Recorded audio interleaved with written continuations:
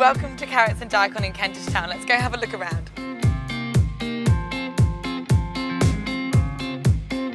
Carrots and Daikon is a fantastic little Vietnamese deli serving up all of the traditional Vietnamese dishes. Here I've gone for a lovely chicken pho, which is a nice traditional noodle soup packed with flavour and lovely and hydrating. And then we've also got the banh mi, which is a nice traditional Vietnamese baguette. This one's beef, packed with flavour and some salad, keeping it nice and healthy.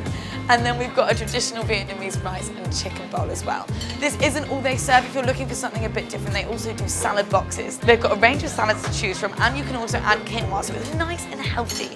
When it comes to drinks, they're serving up some lovely teas and raw juices. This is a fantastic place for lunch or dinner, and they're open Monday to Friday.